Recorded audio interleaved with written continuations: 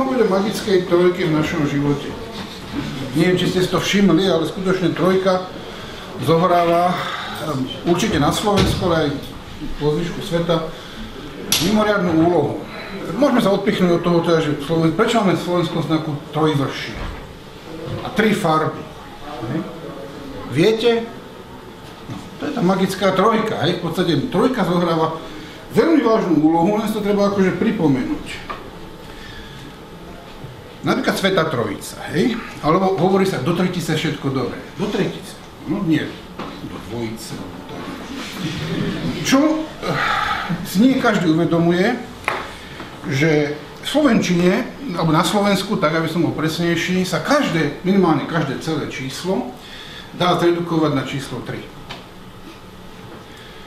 Môžem uvieť príklad, aby ste nemuseli vymýšľať. Zoberiem si číslo, tá, rok, máme rok 2015, hej, takže číslo 2015, ako sa redukuje na trojku.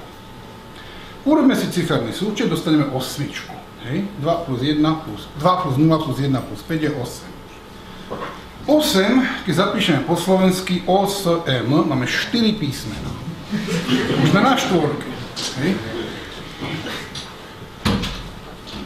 Štvorka, Š, T, V, R, O, K, A, 7. Áno. 7 je 5 písmen a 5 je 3 písmena. A 3 je 3. Tam už skončí. Hej?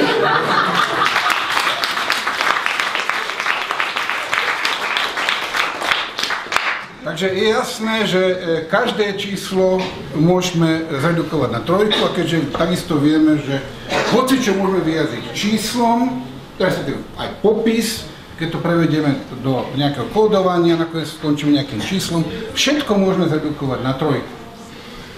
Hej.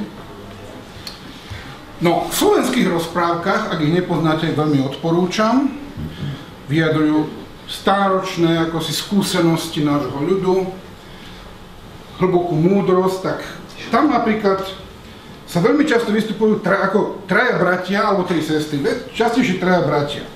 A z nich ten najmladší, ten tretí, najmladší je najmúdrejší alebo najkrajší. Toto my môžem potvrdiť, pretože ja sám mám dvoch starších bratov.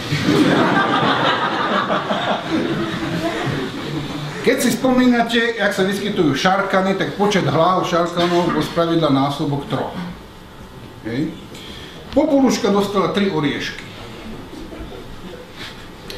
E, oslavy v rozprávkach trvajú buď 3 dny alebo 3 týždne. E, tam, kde počet hlavných hrdinov v rozprávke nie je 3, tak s veľkou pravdepodobnosťou majú troch pomocníkov. E, buď tri zvieratá, alebo dlhého, širokého a bystrozrakého. Keď sa vyskytuje čarovný prsten, treba ho tri razy skrútiť, ak teda chceme dosiahnuť ten efekt. Eh, keď hrdina putuje svetom, tak mu pomôžu tri helpy. Áno, slnko, mesiac alebo vie, a vietor, áno, alebo králi ohňa, vody a vetra, alebo králi zvierat, vtákov a rýb. Vždy tri helpy. Áno. Eh, vhodnosť uchádzača o princeznu sa testovala tromi testami. Áno.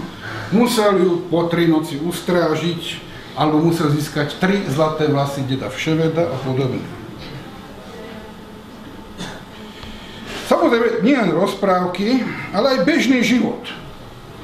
Keď, to, keď si uvedomíte, že e, ak ponecháme o samote muža a ženu, tak čoskoro sa začnú, sa čoskoro začnú venovať činnosti, ktorá vedie k tomu, aby vznikol tretí.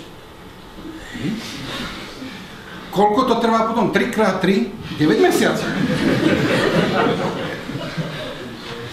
A tu aj nemusím hovoriť, že tak dráždivé slovo ako sex má tri písmena. No, alebo prečo sa hovorí, že mládenec žiada o ruku dievčaťa? Kde je tam logika, prosím vás, žiada o ruku? Ako to vysvetliť? Kto to vie vysvetliť? Je to veľmi jednoduché. Dievča má nejaké kritické oblasti, ktoré, keď, si ne, keď nie sú zakryté oblečením, tak si ich zakrýva rukami. Takže keď mládenec žiada o ruku dievčaťa, tak žiada o sprístupnenie aspoň, aspoň jednej z tých oblastí.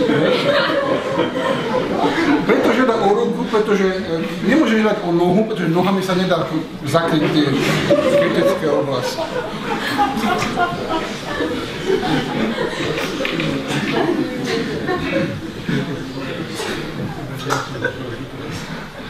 No a keď už teda tú ruku dostane, tak nastane ideálna situácia. Preto, prečo?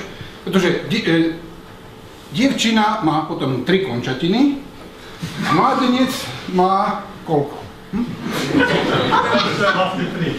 Má tri končatiny hornej polovice tela a tri údy dolnej polovice tela. Čiže dohromady majú 3 x 3, 9. Teda tri trojice, no aby to bolo jasné. 9 je tri trojice, kto to ešte nepochopil.